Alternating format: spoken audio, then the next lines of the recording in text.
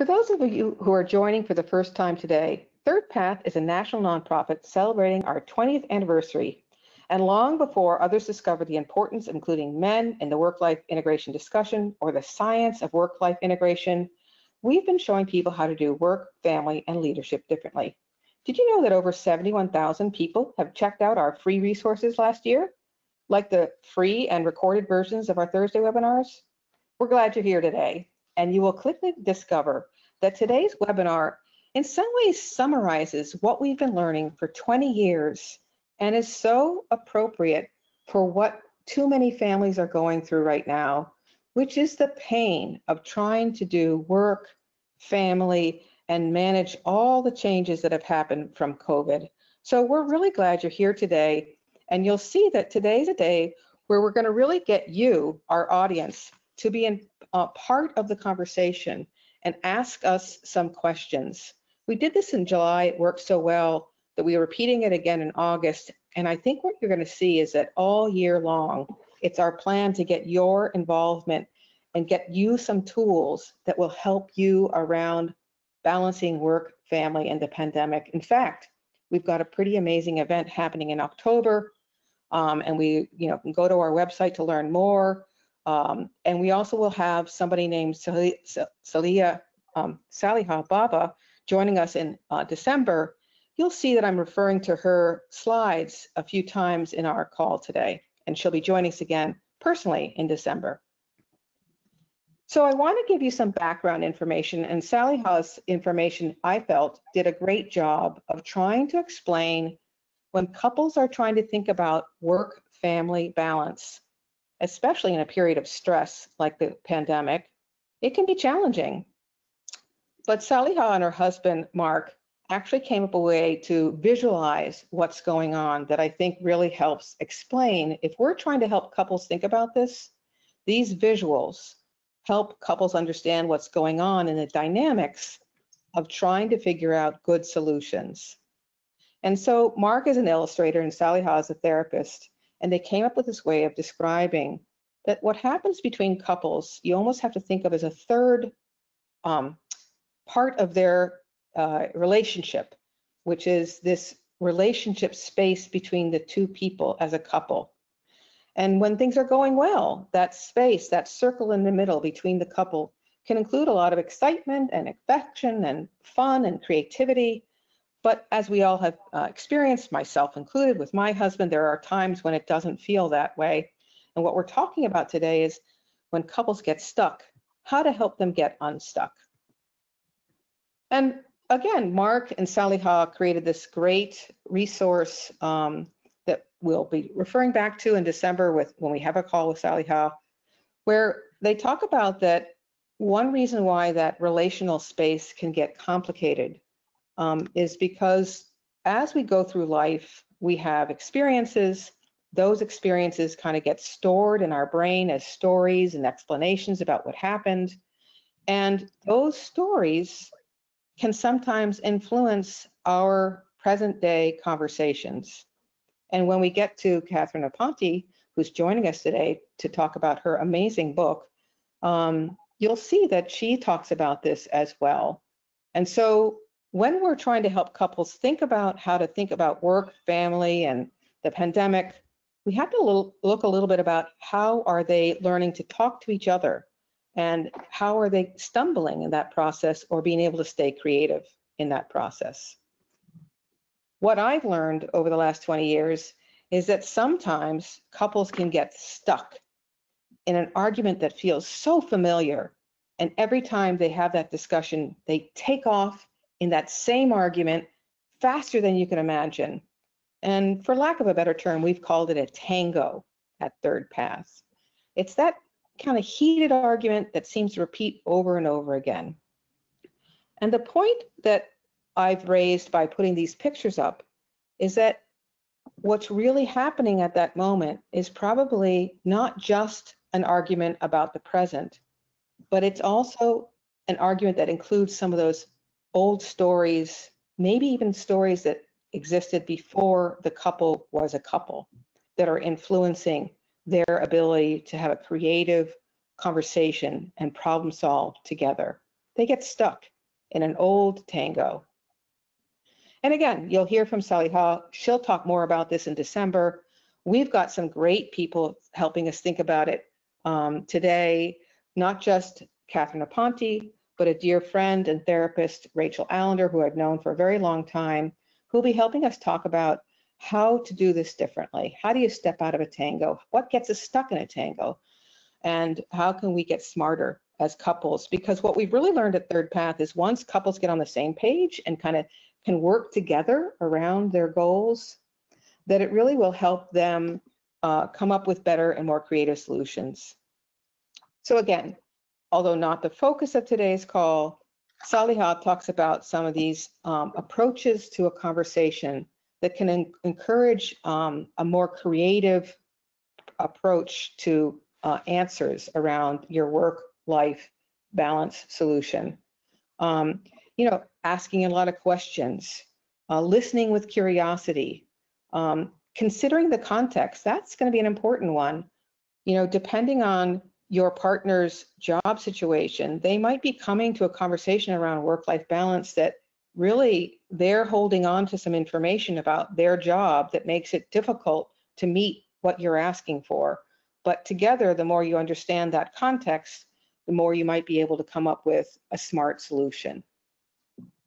So when we're trying to get people to think about work, life, balance and COVID-19, uh, we're really trying to get them to think about how both parents, whether living together or living apart, are bringing three different things to the equation. How much they can think differently about work. Can they redesign it in a way that's a triple win? So look for a way to do their work that's good for their organization, but also good for them and good for their colleagues and clients. So when you're trying to find a better answer, it's a little bit about how you do your work and how both parents can approach their work. It's a little bit about what's happening at home. Can you really figure out a better way to share home responsibilities, whether that's caring for the kids or making meals or grocery shopping or all those other things that need to happen at home? And it's a little bit about where you and your partner both work. Some workplaces, as you've heard on many Thursday webinars, are more supportive of thinking differently around things. Some are pretty work first. You might be working remotely today, but you still are expected to be available Monday through Friday, eight to six for work or even longer. And that makes it pretty hard to find a workable solution and sustainable solution. So that's a little bit about the background. And what we're trying to get you to think about is as a couple, um, as two parents, whether you're living together or apart, can you find a creative answer, a collective vision for where you're going? Can you get on the same page and find a collective vision for where you want to go around work and family?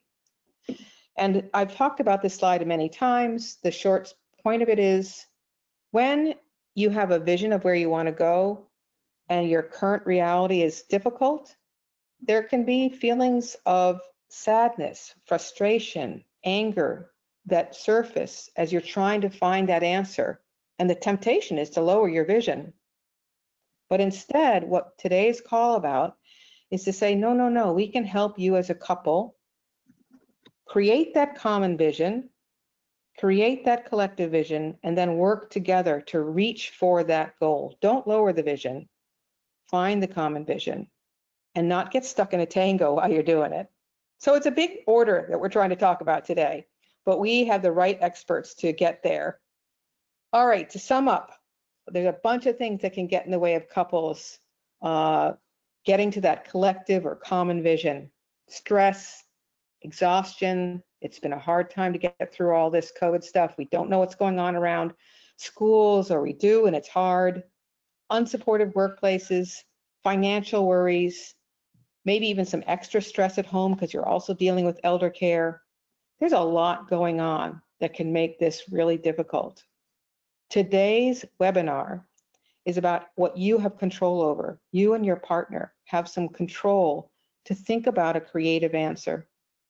And that's what we're going to be looking at.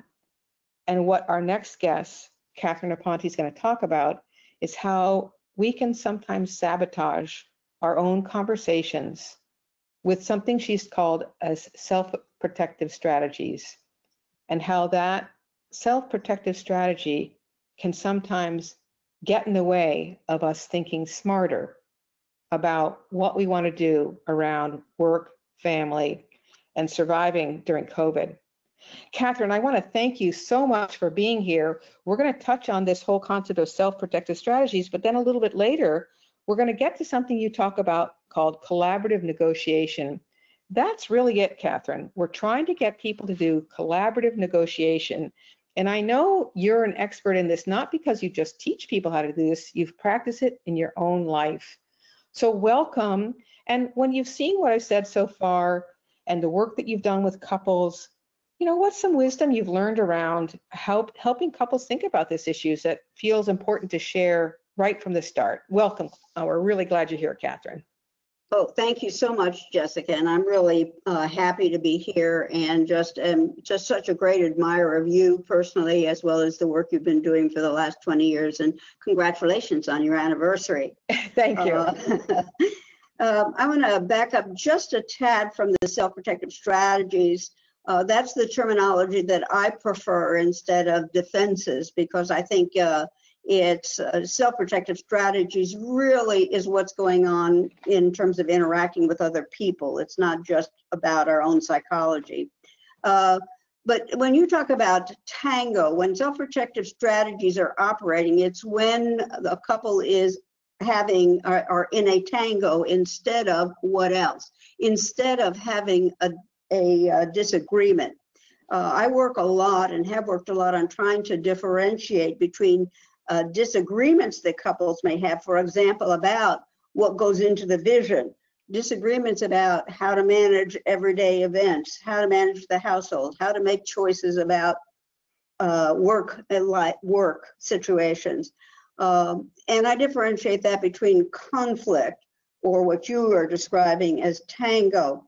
And I spend some time doing that because I think that most uh, uh, professionals as well as people talking on the on the internet, for example, really confound and confuse those things. And I think it's very different. A discussion is always about the issue at hand. It's about who's doing the dishes, for example, or who's going to take responsibility for the children this week. When you're in conflict with one another, it's never about the issue. It starts with an issue, but it quickly evolves into an issue about who's the better parent, who's the better spouse, who is kinder, who is nicer, who is better than. So it's really becomes a personal issue. And what people get very conf very confused about sometimes, even the people that advise couples, is once you have moved into tango or conflict and it's about the personal reactions to each other, there is no resolution. There is no way out of that other than self-reflection. And that self-reflection means you have to look at those, you have to be aware of what are your own self-protective strategies that you have developed, as you've said, Jessica, over the years, and perhaps even very early on, you start to develop strategies that morph into adult strategies uh, that we start to defend. You know, yes. usually, go ahead. Oops. No, no, no. Uh, my screen, right. my screen changed, and I. oh well, you're you're right on target, and and and just to emphasize what Catherine's talking about, I, and that's one of the many things I loved about her book. And by the way, when you see uh, the next slide, you'll see that actually, thanks to Catherine, we've got 10 free books to give away and a little message about how you can get them. So this is an awesome book. And Catherine did an amazing job in so many ways. And right from the start, she's nailed it because there's a huge difference between a disagreement and a conflict. And where we saw couples getting in trouble was this conflict where it suddenly got very heated very quickly and very repetitive.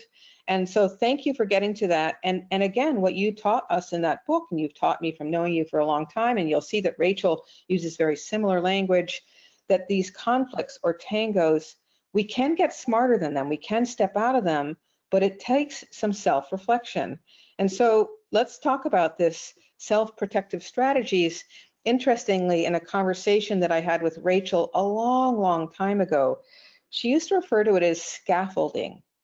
As human beings, we grow up in an environment where maybe a lot of things are going well, but some things are challenging. And so we kind of build some scaffolding around us to make it all work. And, you know, we've did it for a good reason. Um, and, and so both parents are coming to a relationship with these self-protective strategies, the scaffolding around them. However, unfortunately, it's the part that we don't even know we're doing. We don't even see it there. And it can kind of per, uh, continue to create problems um, around how to have a creative conversation. I want to give a personal example of a self-protective strategy, but then I really want Catherine to go ahead and tell us more about this just to get it concrete with people. I put perfectionism at the top. I don't know whether uh, my family members would call me a perfectionist or controlling or, you know, there's some word that would come out. Um, very organized. That would be the way I would call myself. I'm very organized. Um, but really, what's going on is, um, you know, my rationale is I, I like to be organized. I like to things get to things done the right way. But if you scratch the surface and you have a kind of personal conversation with me, and I'm willing to admit it a little bit, you know, I'm pretty scared of doing something wrong. And that comes from a long, long time ago. Anybody want to have a conversation with me, email me and you and I can talk about these self-protective strategies and I can tell you where that comes from. But it ain't to do with my marriage. It ain't to do with Jeffrey and me. It's something that happened a long, long time ago. So I wanted to give that as an example. Um, but Catherine, tell us more about these self-protective strategies and how they contribute to conflicts and tangos. Okay, uh, Jessica, that was a perfect example. And I think the uh, heading over interpersonal goal, what what I mean by that is uh, that's what interpersonally you're trying to avoid Yep. having to deal with being corrected. Yeah. So, uh, and just to back up just one second, one of the other ways that you know that you're in tango uh, versus when you're having a disagreement is you will not describe the situation uh, or what your partner is doing. You will characterize what he is doing he is being uh, like if you're an, a perfectionist you're you're standing in my way you're not helping me you're working against me Yeah. all kinds of things that personally go after the your spouse personally not describing look when this happen when x y and z happens i feel uncomfortable Yeah. um, so I think that you just you just summarized it quite perfectly. Withdrawal is when we talk about people withdrawing, um, and sometimes your spouse will you or your spouse will just shut down and not talk to you. And the rationale for that in the interpersonal rationale is, well, I'm just a quiet person. But what it is is what can be behind it is a longstanding fear of getting run over, of, of not being taken seriously, not being, not feeling important. So the quote, the the issue about this self-protective strategy or defensive is to know when that is happening, so that you can step back and reflect. You cannot get out of this in an in a in a relationship by talking more. You have to stop and Yeah. step back. And Yeah. the clue is often some kind of feeling that you're having tenseness, anxiety, fearful, anger, whatever. That's a good, that plus when you start characterizing some, your spouse, not describing what's going on, that's a, those are the red flags that tell you, uh-oh, I'm in my self-protective mode. I need to stop, take some time out, step back and take a look at what's going on. Yeah. And again, in the, in the book, just for a plug, the Yeah. book, I really describe a number of ways that you can do that, and I'm sure Rachel will also be describing some of the ways you can get yourself out of that. Yes, I, that's what's great about this book is it really does go into the nitty gritty of some ideas about how you and your partner can kind of really approach things differently and get to that creative space, that place where there's collaborative negotiation going on. So we are going to get to that uh, for sure. Rachel, again, you know, you've known me in and out for a long time. We are very good friends. Uh, you're also an expert like Catherine in working with couples on these things. I'm so glad you're here. And I know that as you've been listening in, a lot has probably triggered uh, your thoughts as well. What would you like to share of around your work with couples or anything that you've seen around this tango, et cetera? Sure. I think that what you've covered so far is very important. And what I want to build on is protective, um, self-protective strategies protect the weaknesses that we have, right? Like we all have strengths and weaknesses, right? Yeah. And so they're built up. Um, we even in Gestalt therapy call them creative adjustments sometimes too, to mm-hmm. Guard against the parts that we aren't strong in. And I think that one of the important things for couples to do is to really be able to see their partner them in themselves what their strengths and weaknesses are and what their partner's strengths and weaknesses are so that they can work with that so that when you when you get back to um, that holding the vision right and yep. and the creative vision that you're actually not sort of giving up oh well you're weak in this way so i have to accommodate in this other way i give up and i'm going to give a quick example if i can i've been Please. working with a couple for some long time and we know that he, uh, one partner has um, ADHD and is medicated for it, working on it, has therapy, and um, but what what happened was really interesting. We've been working for some long time, but in session this week, um, she says we have to get ready for this transition to fall. We have all these things we have to do to get the two little kids ready for fall, and he says, sort of laughing,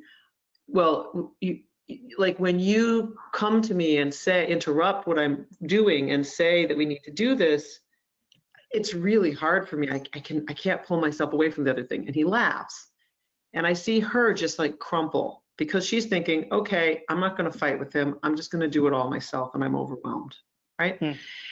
and and i said well I said, but I, I think that what's missing there is that the, the, the knowledge and good intention. So I said to him, wait a minute, I know you have been doing, you've been really sharing care with this partner all this time. What, what do you, like, what's, what's going on? And so what, what came out through the work was he's getting clear that actually when he's focused, highly focused with his ADHD mind in one place, he's really great at getting something done when he's pulled away from that, it feels quite violent. It's like it's, it's he feels spun in a spun house, right? Mm-hmm. And so when we when we um, when we were when I was able to help him say, no, no, I, I want to help you. You know, I'm not laughing. Said, you're laughing because you're embarrassed, not because you don't want. Mm-hmm. mm-hmm. Chuckling because it's embarrassing and shameful mm-hmm. that you can't change mm-hmm. your so there's just this way in which when we got there to, okay, she says, well, wait a minute, but here's the problem. You always tell me to remind you, but now that's the worst job on earth. Mm-hmm. If I mm-hmm. remind you, I'm the person who put you in the fun house, right? Mm-hmm. So, so seeing this is not the answer, but seeing that, oh, here's the problem. Now there's compassion. Now mm-hmm. between the couple. And when you get that compassion and care, now we can look at what what are the ways that we can that this mutual goal can be met which is that the kids have what they need for fall and that the two of them do it together? Yeah yeah. Oh that is such a, a wonderful example. And oops i, I want to go to i guess i put that i want to go to this one again because i again I, I think it's that you know listen with curiosity um, stay playful hold uncertainty ask questions. It's that it's that more open-ended place that you you know instead of jumping into the tango together you're exactly. you're using some of these tools to stay open to the possibility that you both really could figure this out together. And i would open up and say when i looked at this list i was thinking where does this story fit? And consider context. I think there's the context of people's jobs but there's also the reality of their internal worlds what are, what yes. are, who am i and what am i who am my partner exactly and that's what you get to this to this circle here, which is very helpful. Yeah, yeah, yeah, and and also, um, you know, I like your use of the concept of strength and weakness because I'm sure everybody listening in today can imagine that they chose their partner. Um, you know, assuming they're still married, uh, they chose their partner. Um, in some ways, they probably chose that partner because they actually had a, an opposite something in them that they did that's very different than you, and together it's a great combined strength. Um, again, you know, in our household, Yeah, in our household, a classic example is I'm a planner, Jeff's more spontaneous. And it turns out for families to function well, you need both. You can't just plan away family and you can't just be spontaneous with family. And so, you know, now celebrating our 30th anniversary this month, um, we've learned how to do a little bit of both, you know? So Rachel, I want to talk to you about this slide for a second and, um, and then we're going to get back to Catherine and talking about how we can use collaborative negotiation to think about these issues um, together. Um, you know, so you've worked with me a long time. Uh, you know, one of the things we're trying to communicate is that all of these issues can be challenging, work, home, and workplace. And so we can be arguing about sharing things at home, but it might turn out that what's happening in the workplace is influencing that problem even more than what's happening at home. When you work with couples, any thoughts or stories about how all three of these things can kind of be pulled apart or influence each other? And you know, any any thoughts that come to mind around this? Sure. I'm going to just use the same couple for a moment because again, I, there's like they have like where they are now is with such good intention and they've demonstrated throughout the pandemic actually the ability at the beginning to flat both of them to be very flexible to try and accommodate, right? Mm-hmm. But as as work now is this kind of movement in this period of, of pandemic to kind of autumn and um, get quote unquote getting back to some normal, right? Like Mhm. more attentively or, you know, um, children getting more education, whether it's at full-time at home or hybrid or whatever. Um, I think what was interesting is, of course, he is being pulled back to work in a very big way, right? Like work, and Yep. he's a leader at work, and he's let a lot of things slide for the whole organization, and now some of them are biting yeah. them, right? Really are. They truly are. So it was an interesting piece about how then the the weakness gets plays out worse, right? Like because the distractions happening at work and the distractions happening at home. So I think that um, I think that what's really important here, um, we've talked about in some of the workshops we've done, the bigger workshops, is is North Star. Mhm. And so discussion, what I did was I didn't get into debating or haggling. I just said, wait a minute, you you guys do this together and you value it, right? We already determined that, that you want to take care of your home together, you want enough time for work. Nothing's going to be perfect right now, but just to to help people start, I think couples need to say again, what is it we're aiming for? Like Mhm. what's our back to your earlier slide, what's our vision? Yep. And if Yep. you don't remind yourself of the vision, then you then you then you quickly cave and you don't stay with the creative tension because his vision is not for his partner because she's stronger at worrying and remembering all the details to do them all. Right. Okay? Right? And and actually they did in the session, he was able to say, God, the way I'm so freaked out when I get pulled away, you're freaked out all the time because every detail's with you every minute. You're struggling every Hmm. minute. Like Hmm. empathy for each other, right? But Mhm. again, to get to get to a solution that's satisfying requires knowing what the vision is and Yeah. and, and and back to that together Yeah, before you I'll- start to Yeah, I'll tell you what other, one other secret ingredient I hear in your story. You know, some couples can come to this fairly easily. Some need support. Um, yeah and and some can do it on their own but it it just takes a while so i remember uh, we had a webinar where one of our parents in our community was talking about how it took them a year of doing a lot of listening and trying not to get into tangos but just learning together until they finally could come to some answers so it's a it's a, it can be a a slow process to make this change happen and you might need support because it might be that you get stuck in those tangos and they're just so difficult that you actually need a Rachel or a Catherine or somebody in the in third path community or somewhere else to help you make the change. So so as you're listening in today, don't think this is a quick quick solution. This is a a lifetime solution that you're committing to and what Rachel talked about, you're getting clear about what your North Star is. We're going to talk more about that a little bit later. What is it you both are reaching for and how do you keep on moving towards that? In fact, the very next slide um, is going back to uh, Catherine's book. Um, again, there were many things I liked about Catherine's book. Um, and one of the things, of course, that made me happy is that she's really talking about collaborative negotiation.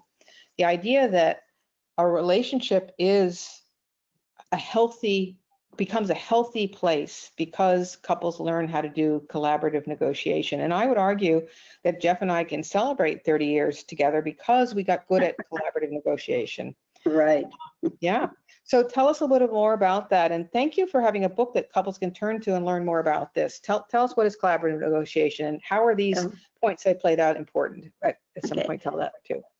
Congratulations on 30 years, and here's to the next 30. Which Yay. Joe and I, Joe and I just celebrated 60, by the way. Fabulous. Fabulous. Uh, Yeah, woo is right. Uh, Exhausting. No, it's been wonderful.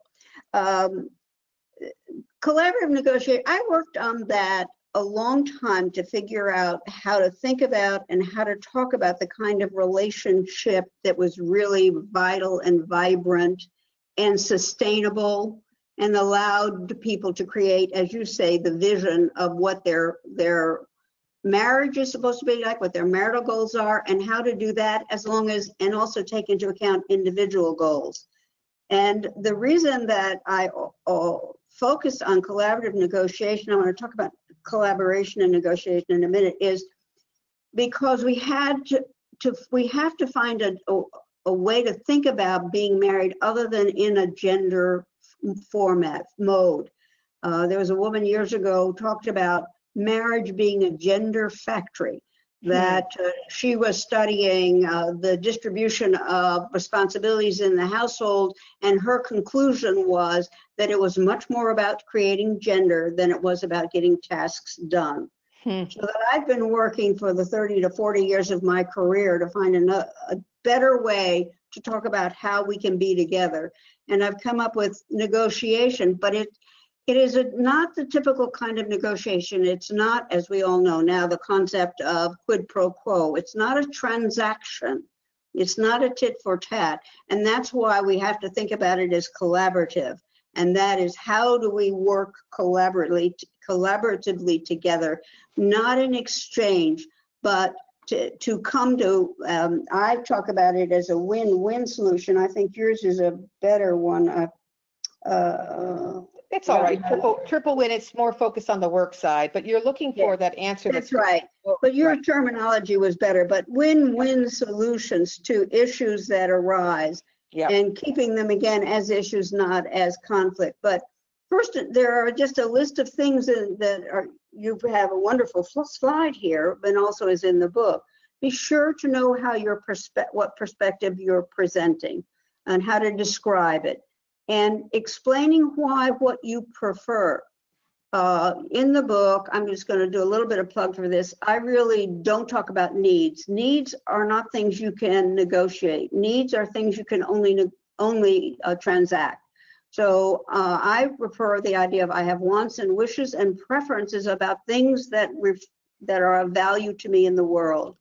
Uh, I want to be able to express those preferences, and I want to give my partner the opportunity to express his views as well.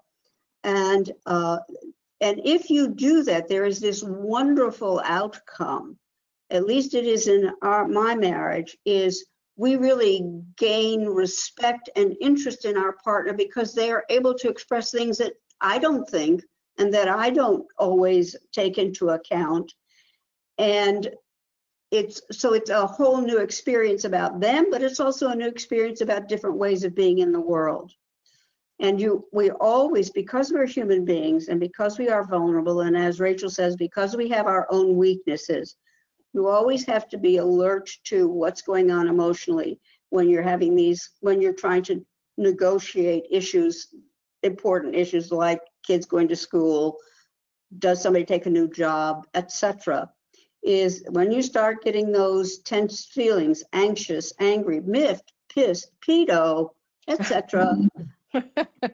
step back, stop and step back, collect yourself. Where are you? What's going on with me? Do I need to take a a couple of minutes off to relocate myself so that I can come back into the negotiation as a open, full participant?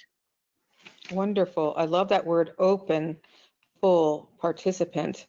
Um, because again, and as, as Catherine has said so well, you, you know, you probably picked your partner for very good reasons and they are going to bring some other ways of approaching things that can really make a better solution together. Um, and, you know, and if you have that North Star of what you're reaching for, um, I guarantee you will keep on using collaborative negotiation again and again and again. So there's lots more we could say about every single one of these slides, but we want to make sure we get to a point where you can ask us some questions about this and get Catherine's expertise to answer that question or Rachel's expertise. So I'm going to go through a couple more things and then we're going to get you to send in your questions in the chat box. So write them down, uh, start thinking about what you want to ask us because you've got some really smart people, as you can see today, to help you figure out how to take that next step towards creating a real partnership at home where you're both reaching for what we're going to call this North Star. So the North Star is going to reflect a little bit about how you want to set things up at home. You know, for me and Jeffrey, it was really important to have a team approach. As our kids' needs changed, they got a little older. We needed to uh, really think differently about different solutions. And as we go through COVID, I've heard over and over again how much this idea of creating a schedule where you know what's going on and the kids know what's going on. So, you know, your teenager knows to ask dad when dad's in charge um, and you when you're in charge. Um, but it's also a little bit about your North Star is a little bit about what's happening at work um, and your ability to kind of communicate with your manager about, hey, on Thursdays, I'd really like to set it up so that I don't work because that's my day to be fully in charge of the kids and do the do the online learning that we're doing. Um, but you know what? Uh, we can kind of coordinate all of our meetings on a different day. So as you're looking for your North Star, it's a little about what you want from home, a little about what you want from work. You're putting it all together into that combined goal that you both are reaching for about how you're approaching work, how you're approaching home, and you're giving that context to the workplace that you work in. Um, and that's going to help you define. So, for example, some people's North Star might be, um, you know, to have just one parent be in charge right now at home and the other parent working. Um, I was somewhere um, this summer where someone was still able to use um, their full-time nanny. And so they both were able to work in a, um, even though they were working remotely, they were both working kind of normal hours. So your North, Star like might look very different. But the idea is that the two of you together kind of help define this North Star. I'm going to say one last thing um, before we get closer and closer to the question time. Um, it doesn't have to be two parents living at home who figure out a common North Star. If you listen to our July webinar, one of our experts who was answering questions, Bryn Jones, I asked her to share a little bit of her story and she and her ex-husband um, have a have a way that they share the care of their children even though they are separated and divorced. So you can really find an answer uh, when you have a good ability to think creatively with your partner or even your ex-partner um, on how to do these things. All right so we're almost at the point where we want to ask you guys some questions. Um, there might be one last thought you want to share, Rachel, before we get to questions, and then I'm going to ask Catherine the same thing, and then we're going to open it up for questions. It looks like we might even have some questions already, which is great. Rachel, anything else you want to add, and then I'll ask Catherine the same thing. Yeah, I do want to amplify what um, what Catherine said about creating gender mm -hmm. and about collaborating, and I think it's mm -hmm. really important because, and it's interesting. I used a male-female um, couple, but um, what I sometimes say to people is, okay, so imagine you live alone. These are still your children and this is still your house. What's going to happen now? Like, what's going to happen? And I don't mean it because I'm threatening them with separating. I'm, I'm saying, like, if you're in charge because that you are, you are, how are you going to do this? Like, what, what are you going, what's important? So I just want to say that I think that, that um, helping people um, really collaborate and rec rec recognize that this is not for somebody else. This is like something they figure out together. And also just that the preferences really is an important, um, really unpacking what your preference really is so that it's not just a reconstruction of gender. It's not this kind of fantasy of preference, but it's actually you're getting to your real preferences is important. Yeah. Yeah, uh, we will make sure we talk some more about the North Star. And I love this whole concept of marriage can be a gender factory and how can we step out of that? Uh, that's really a, a, great way to think about some of this stuff. Thanks for coming back to that, Rachel. Catherine, there might be one more thing you want to say, and it looks like we do have some questions that Melissa will share with us in a second. What's your last thought, Catherine, before we hear the questions? My one more thing, and the way that the reason I originally be, got involved with Third Path is about shared care sharing care, however you work that out, but that it is a joint effort and not a gendered effort, has been so important to me because as a person, as a woman who really grew up and raised my children in the 70s, and we were both in school and seeking careers, we had horrible child care. And that is painful. It was painful then, and it's painful now to know that I was not able, and my husband and I were not able to provide the best care that we could for our children. So shared care, everybody, shared care. yeah, and whatever that looks like, it could be as simple as. That's right. That's yeah, right. You know, both parents working a four-day work week, or both, you know, dividing up the week. Where there's like a thousand examples of, you know, childcare can be when we have childcare again. It could be an important resource, but you know, again, we're kind of dealing with this crazy COVID world right now, and that's the last thing I wanted to say is that, you know, we want to get your questions and we will have this event in October, our parents forum, where we talk a lot about all this stuff. And then we actually have a, a work breakout group where it helps you define your North Star. Um, so we are all year long, we want to have some resources for you guys to figure this out and keep on figuring this out. Melissa, it looks like we might have some questions. Um, you want to tell us what our what first question you want to share with us? Sure. Uh, we've got one question from a participant that asks, um, how do you deal with a partner who has trouble expressing themselves and communicating um, and identifying their emotions? Oh, thank you. That is probably a question that a lot of people have. I'm going to start with Rachel. Can you share a couple of thoughts about that? And Catherine, I know you have some thoughts about that too. So Rachel, what, what are some um, ideas you have for that? And then listeners, please send us your questions. Where are you struggling? What would you like to learn about? Uh, this is really a call to help you. Rachel, your thoughts. So I think there are some muscles that have to get strengthened for a person who needs to be able to communicate their feelings. Um, if that's not, if that, if their strategies for survival in their family of origin or somewhere along the way, they learn to like kind of shut that off to some degree. And so I, my sense is that there needs to be conversations about feelings, not while you're working on the on the di- difference. Mm. You have to mm. practice it at a time that isn't hot when you're mm-hmm. when your um, your um, cortisol is low and you're um, and you're more open, right? Mm-hmm. That's mm-hmm. one advice is that that you practice build. I really say to people, you have to build your muscles. You can't mm-hmm. use you haven't built. So if you mm-hmm. don't have a good vocabulary for talking about how you're feeling and what's going on for you, doing it when you're anxious and feeling defensive isn't going to be the time when you're going to do it well, mm-hmm. right? You're going to mm-hmm. practice doing it at other times. Hmm. Very, very creative, very creative. Catherine, what comes to your mind around this issue? Uh, first and foremost, what comes to mind is this a self-protective strategy? You know, mm-hmm. is this person uh, resistant in some way, fearful, uh, and and you will not be able to know that as a spouse. I mean, you, you will likely have guesses about it, uh, which you cannot, in fact, offer as an explanation or offer as a way to try to induce them to, to become more self-reflective. And the issue is that partner has to become more self-reflective and make that commitment to doing that. And the only way that I know how to do that with and stay out of a tango, stay out of a conflict yep. at the same time, is to step back, be clear. It's almost like you have to do with somebody who's an alcoholic. You don't address the alcoholism. You don't address what you what you're identifying as a problem. You say, in this situation, when you don't speak up or are unable to speak up, this is the impact on me. I can't do anything about that. My hope for you, it, but and then you simply and then you have to say, it does have an effect on the quality of a relationship.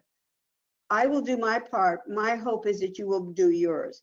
So you simply describe the impact of the behavior on yourself rather than trying to identify what is going on and that's wrong with your partner and what he or she should do about it. That, that never works. Mhm, mhm. In the book, I do use that model of, um, of, uh, of of alcoholism as a way of addressing, for example, there's a chapter in the book on how to deal with a mentally ill person. And uh, so it's a similar kind of thing, not that the person is mentally ill, but if there is a, is a, an issue, this is a good strategy to try to use to get them to, to take on the responsibility of doing something different about it, as they define what that should be.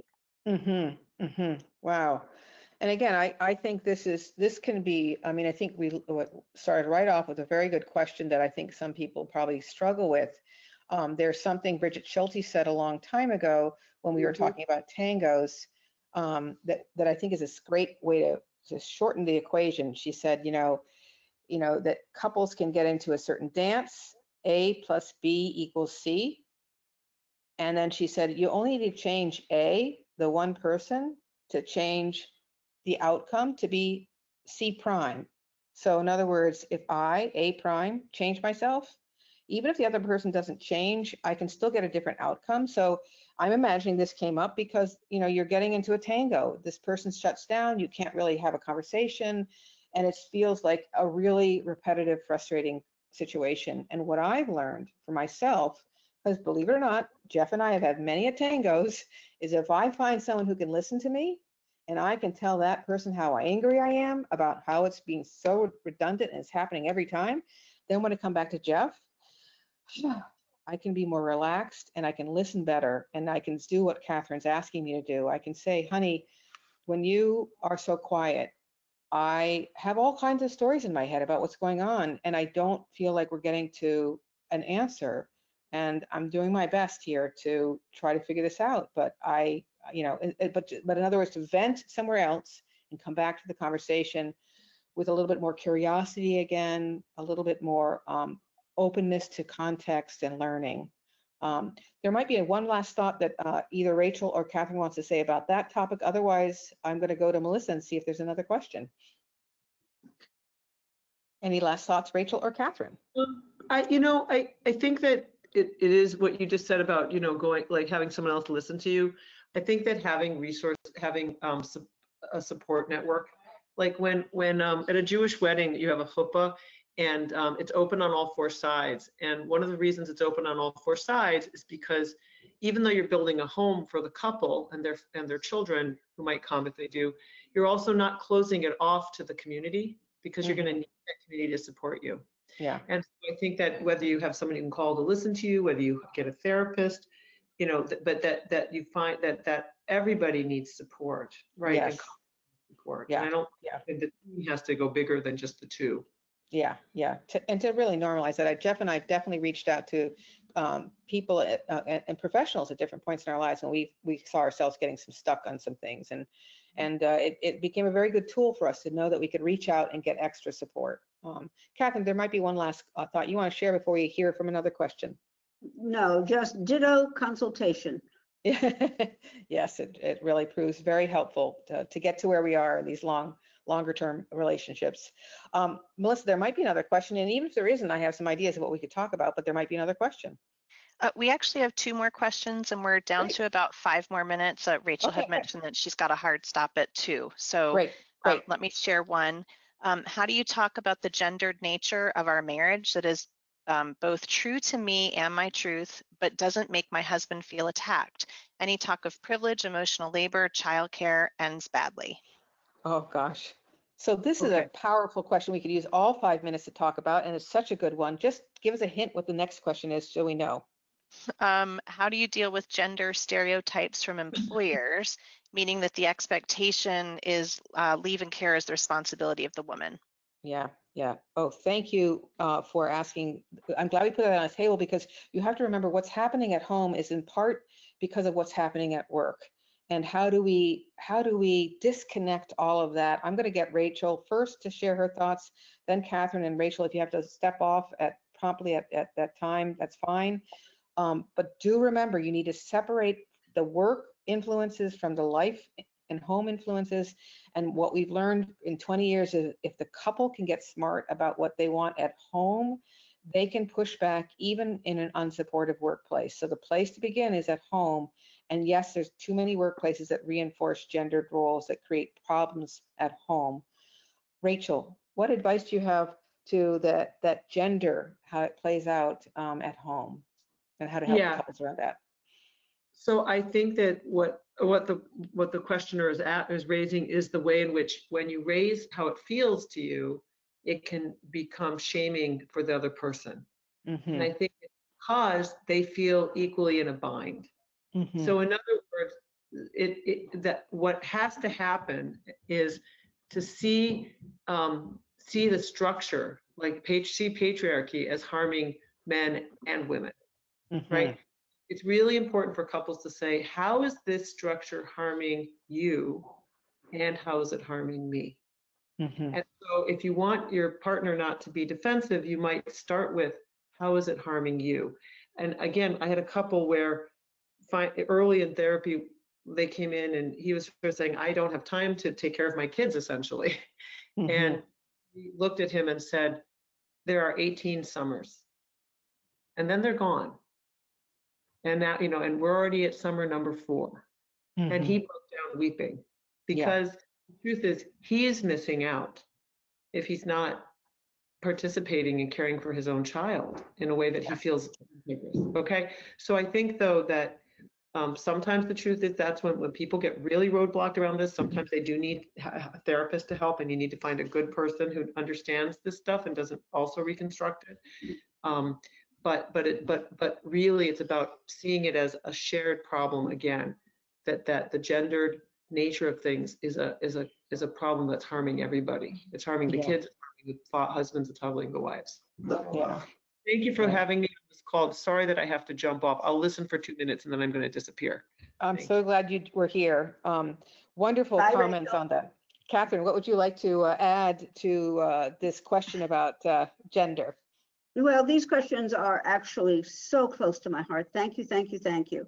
And it Yes. really is uh, much of why I wrote this book. Is is uh, uh, I really do love that notion of marriage as a gender factory, and it's very difficult to work against this. And again, uh, most of the time we want to just try to inform our spouses, and particularly husbands. I think it's most often the case because it is assumed that uh, these gender differentiation, gender roles uh, create a better advantage for husbands, particularly in the home, uh, the gender differentiation. And again, it's very difficult to uh, inform them that you can't give them books, you can't, you cannot talk to them about privilege because now I did read a recent article that says use the concept of advantage.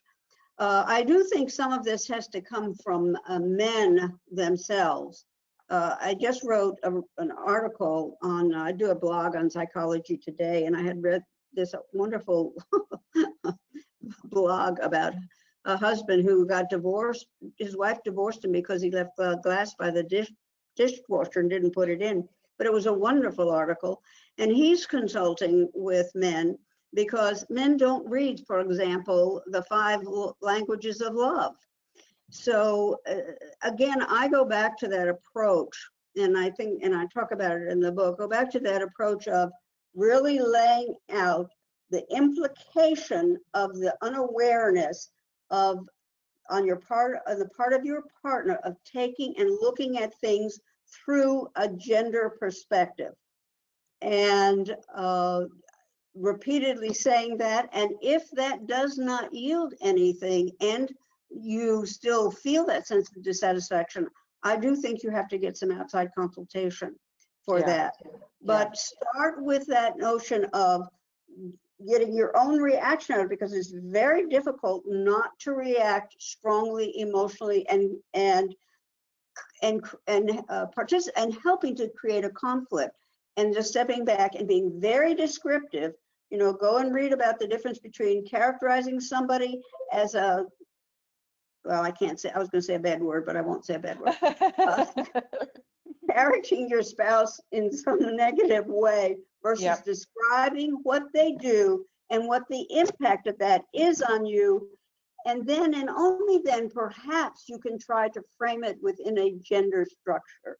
Yeah. But stay yeah. concrete, stay descriptive, say this is the impact on me and leave it at that. Now, if that doesn't yield results, then I think you have to say, this has become a problem.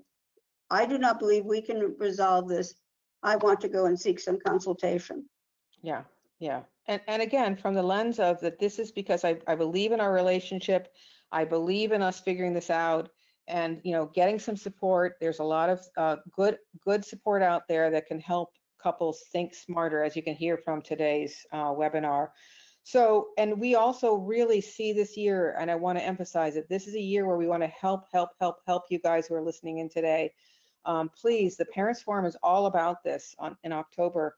It's going to be a chance. We've kind of broken it up into two half uh, days with the idea that you're balancing a heck of a lot this year. Um, and so you can kind of join us for these two half day experiences, and they will really help you start defining your North Star, stepping out of gender roles and instead stepping into the roles that you both are really happy with and can keep on uh, collaboratively negotiating around as work and life continue to shape uh, the way you uh, build your lives together. So we're really sorry we're out of time, um, but what great questions. What a great thing that we got to how gender can really play uh, uh, some tricks for us but there really are some answers. And my hope is that you will keep on listening into these webinars as a way to get some resource. All of our webinars from last year are up on our website, um, including the one that we just did last month, where we talk about how to kind of create a more sustainable solution um, and finding recharge time, even during the time of COVID for families. Um, and, you know, I really want to thank you guys for being here today. Thank you, Catherine, for being here. That was really wonderful. I really appreciate your uh, involvement today. Thanks, Catherine. I would just, uh, if people really want to, I write a lot about gender and various issues. And um, I do, I have a blog both on uh, the, I think you have advertised, but also in, in Psychology Today. You can go onto Psychology Today blogs and just uh, type in my name and you can take a look at some of the, I, I think I've written about 34, 35 posts. So Yes. take a look at those. They might be helpful to you. And I would highly recommend them. I've been uh, thinking about how we want to start including some of them in our newsletter because they're really well written, get right to the heart of the issue. So Oh, please- thank you, Jessica. Now, please do uh, take a look at that. So thank you, everybody, for being part of today's webinar. I hope you got some of your questions answered. Um, I hope you'll write in um, and give us a, a shout out for one of those free copies of Catherine's book. Um, and I hope you'll tune back uh, when we start our new season of webinars in October. Thanks for being here today.